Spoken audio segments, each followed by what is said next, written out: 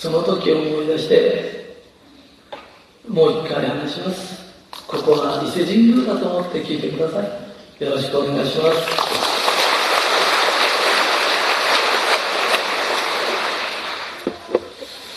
でそこで私が言ったのは私たちって日本人だよね。日本って日本の神様があるんだよ、えー、日本の神様って素晴らしいんだよ。もちろんよその国の神様も素晴らしいんだよ。でも日本の神様って特徴があるんだよ。あの日本の神様って宗教戦争したことないんです、えー、インドからお釈迦様ね仏教が入ってきました。中国から儒教が入ってきました。ずっとヨーロッパを経てキリスト教が入ってきました。でも何にも入ってこない時は日本には日本の神様がいたんです。と大概はよそからいろんな神様が入ってくるとそこで一悶着どころかもう百悶着ぐらい起きてずっとね、え、殺し合いをするんです。ところが日本の神様はそれをしなかったの。すごくおおらかな神様。だでなんで日本の神様はよその神様と喧嘩しないんですかっていうと日本の神様は矢をよろずの神です。矢をよろずってことは800万って800万の神様がいいですか？国民の人口はその頃100万人いるかいないかなんです100万人に対して800万の神様一人8人ずつってる。ね。そしたらそこにインドからお釈迦様っていうのが来ましたよ。って言った時日本の人たちが今でも800万いるんだからまああと1人ぐらい増えてもいいんじゃないかと、えー、こういう気持ちで受け入れたんです。でよくよく話聞いてみるとやっぱしねインドの方からわざわざ伝わってくるような話だから聞いてみればいい話なんです。そうするとあじゃあこの部分をお任せしようって言うんで今お葬式をお任せしたりねいろいろやってるんです。そうなんですよ。もうあのキリストさんが入ってきた時もいいじゃないかもう一人ぐらい増えた。ら、え。ー、で私たちはクリスチャンじゃないけどクリスマスやったりね、えー、バレンタインやったりするじゃない。で適当にやってるんです。ですごくいい加減な神様なのかなっていうとそういう神様でもないんです。日本の神様ってね、えー、あとねちょっと面白いことなんだけど皆さんの周りにもね神社っていっぱいあると思うのね。で神社には祀ってる神様がある。ご祭神っつうんだよね。でそのご祭神を例えば今三社祭りとかありますよね。あの命がけでみこし担ってる人にところでご祭神はって聞くと知らないんですでこの前山形行ってものすごい古い神社があってね。その神社であの岡村を踊ってる村の人たちにここの神社のご祭神がどなたですかって聞いたら答えが素晴らしいご祭銭の中に入れると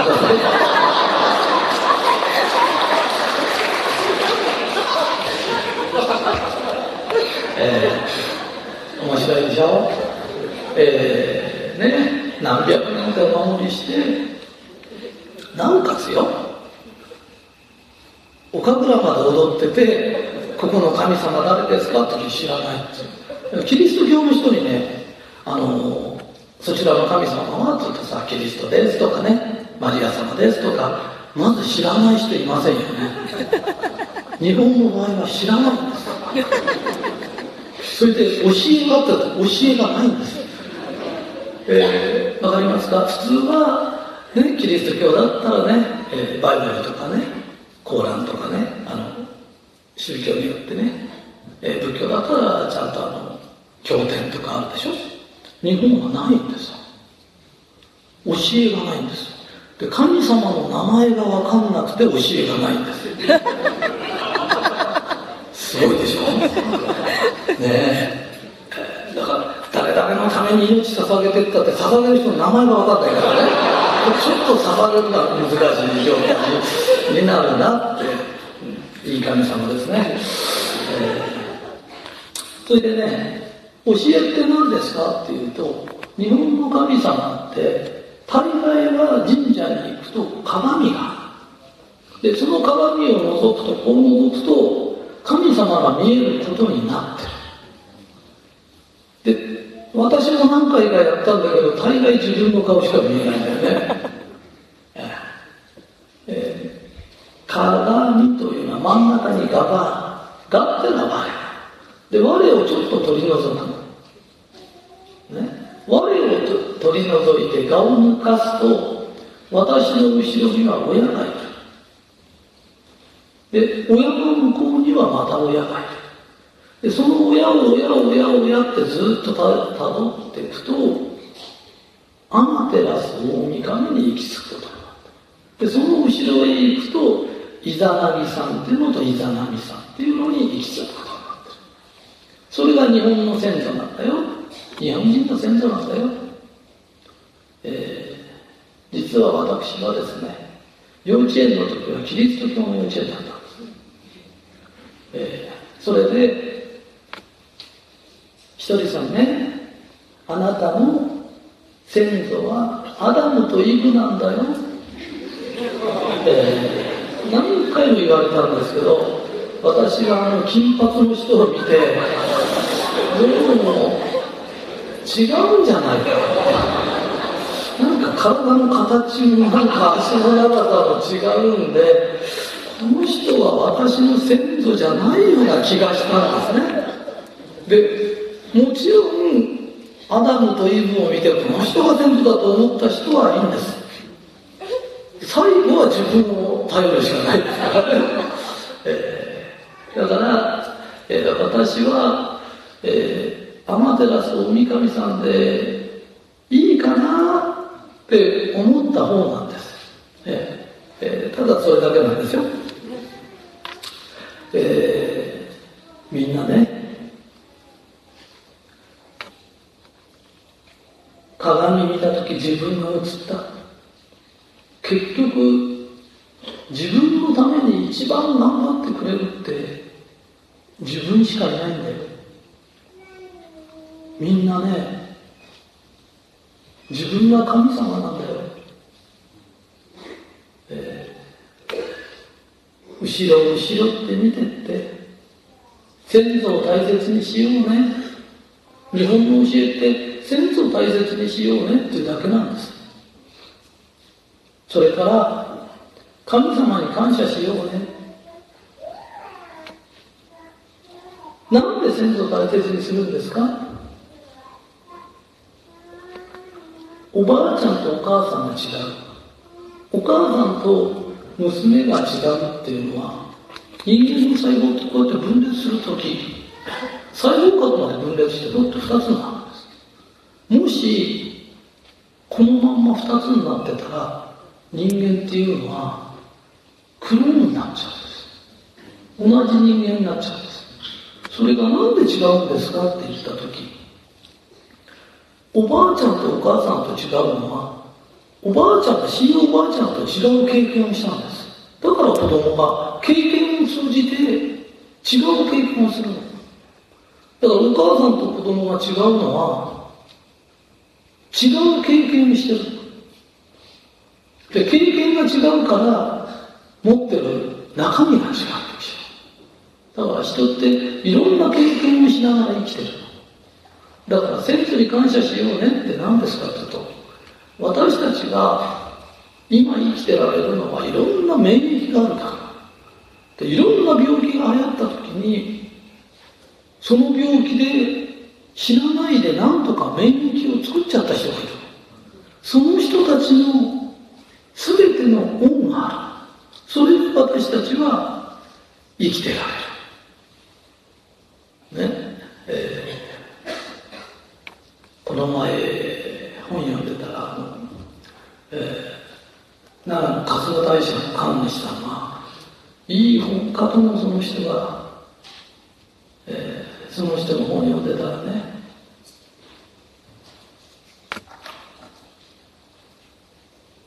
太陽があって地球がある。で、みんな、太陽が明るいから地球が明るいと思ってんだよね。で、太陽が暖かいから地球が暖かいと思ってますよね。でもそうじゃないんだよ。太陽と地球の間って暗いんだよ。そうなんだよ。だって宇宙船なんかでよくこう宇宙船から撮った映像なんか撮ると、いつも夜でしょ？考えたことある？もし地球、太陽が明るくて地球が、例えば太陽が暖かくて地球が暖かいんだとしたら、日本で一番暖かいのは富士山の上だよね。近いところね。日本で一番暖かいのはヒマラヤヒマラヤの上だね、先端だよね。だけどいつもあそこに雪かかってるでしょ？わかるかい？地球で一番近い。そうそう、地球で一番、ね、太陽に近いのはヒマラヤだよね。それヒマラヤが一番暑くて、もうハワイより、アフリカより暑くなきゃいけないんだよね。ココナッツの国ですよ、そう。だけど、いつも雪降ってるよね。ってことはね、地球には空気がある。その空気に太陽から来た物質が反射する。だから、ファーッと明るくなって暖かくなったら、当然空気が薄いとこは寒くなっちゃう。っていうことだよね。だから、地球に空気があるから、太陽の光を恵みを受けられるんだよね。それで、人生うまくいかない人っていうのは、感謝がない。あの、天照大神って何ですかって言ったら、簡単に言えば太陽なんだよね。あまねく照らしてるっていうことだから。だから、とりあえず、あまねく、天照さんの光が来てるんだよね。それいいですよ。キリストさんでも誰でもいいですから。私は、別に、えー、人と争うこと嫌いだからね。えー、いいです。いろんな光が来てます。でも、受けられる人と受けられない人がいる。えー、キリストは愛の塊だアマレテラスさんとは感謝の塊だ。だから感謝のない人っていうのは、何をやってもうまくいかない。だから感謝しよう。先祖に感謝するとか、神様は感謝するとか、みんな感謝しな。感謝することないんですあ、この人はいいこと起きたら感謝しようと思ってる。感謝っていうのは、目があって幸せとか、ね、鼻があって幸せとか、今あるものに感謝するの。手があって幸せとかね。何でもいいの。本当にこの前私足の裏の皮むいちゃったことあるんだけど、あの足の裏の皮がないだけですごい大変なの。気がつかなかったけどね。あの皮だけがないだけで歩きづらいし痛いしね。だから感謝って今あるものにするんだよっていうことなのね。で、感謝する。で、感謝すると、本当に自分の人生ってね、光り輝いてくる。不幸な人ははっきり言うけど感謝が足りない。あのね、ここもクーラーかかってるけどね、クーラーなんてのはね、徳川家康なんて入ったことないんだよ。真の始皇帝も入ったことない。ジンギスカンだってないんだから。焼肉だって熱いとこ食べてね。で、今はね、いろんなものが家にあるのに、今ぐらい感謝しない時代って少ないよね。ね、昔に比べたら将軍様以上の生活しててもずっと不平不満を言っててまだこれがないこれがない。ないのばっかし数えるで、それよその、えー、私たちが、先祖がいろんな苦労しながらずっと免疫やなんか作りながらね、私たちにバトンをくれた。そのバトンを私たち受け取った、今最終ランナーとして、えー、走ってるんだよね。このバトンを次の世代に渡さなきゃいけないの。ね。だから、感謝しないとダメなの。ちょっと前まで日本ってね、あの、この前、おしんって物語あったけど、おしんだけが苦労したんじゃないよ。おしんだけだって名前が違うんだけでね、村中おしんみたいなのがいっぱいあったんだから。ええー、だから、みんなで、この命のバトンに感謝しながら私もね、えー、今、忘れたんでまた、神が待ってました。えー、ヤオの四つの神、800万っていうのは800万じゃないんだよ。8っていうのは、そっから多いっていうんだよ。わかるか ?8 っていうのは末広がりだから、八百屋っていうのは800種類ってことじゃないよ。うんと多いのを8ってわかるだから血液型占いって4つでしょ？で白血って8でしょ？8で始まるものは無限に広がるの。だから8というものはもうプロの領域だ。わかる？ね。えー、で、この8ね、800万の神がいるっていうのはどういうことですかというと、日本の場合、神様っていうのは、御事っていうの。わかる命って書く。なんとかの御事っていうの。わかりますか？ってことは、私たちは神様から、えー、神様神様ってやたら言って申し訳ないんだけど、信じてない人は全然信じなくていいですからね。えー、信じてる人だけが生きててくれるんです。私たちは神様から命もらってる。これ分け御霊っていうの。それでね、世界中の学者が集まっても、生きてるものはタンポポの葉っぱ一枚できないんだよ。世界中の学者が集まって人間がやったことっていうのは、地球を何回ぶっ壊せるかって原爆も作った、水爆も作った。この前、あの、計算した人がいて、今の原爆を一斉に爆発させると、一人の上に漏れなく50メガトンずつ爆発する。一人の上、要するに散らばらすね、長崎の原爆の50倍。これが漏れなく皆さんの上に爆発するんだっていうことを計算してた人いるのね。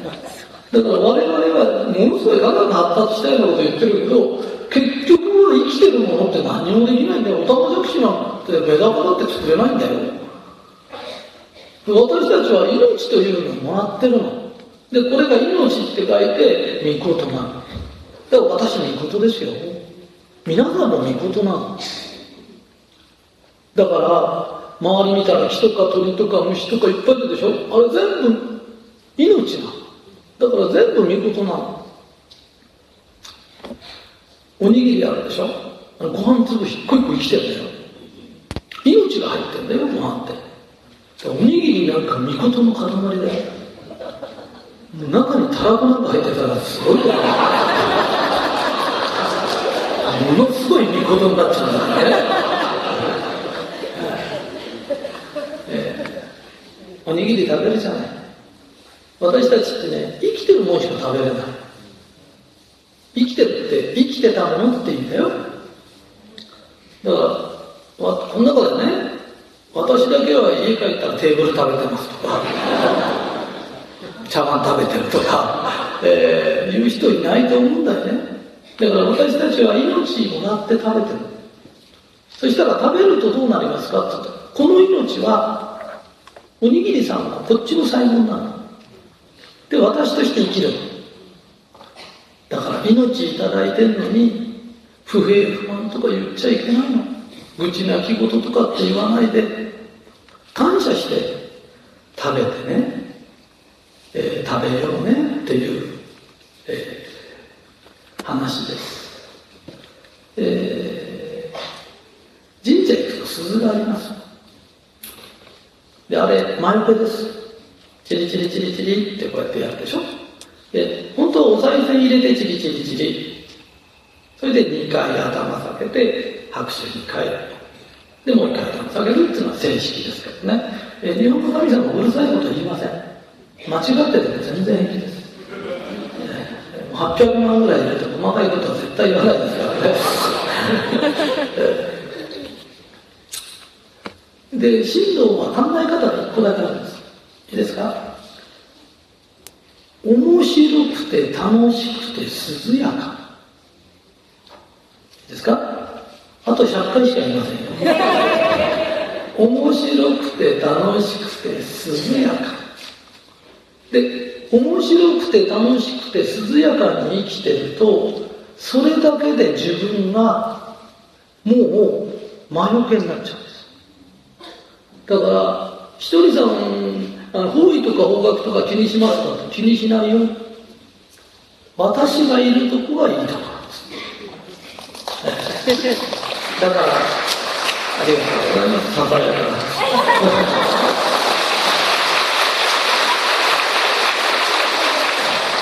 だからみんなもね、面白くて楽しくて涼やか。ね、えー、面白くって何ですか尻尾が白いんじゃないよ。分かってますか思ってるのは面ですよ面白かだからといって白塗りにしろとかっこと言ってないですよ、えー、面白くっていうのはね暗い顔の反対反対。暗い顔してないで明るい顔してな。ね。それから楽しくっていうのは手が伸びる。自由っていうことだだってあんまり自由じゃなかったら嫌でしょ。ね。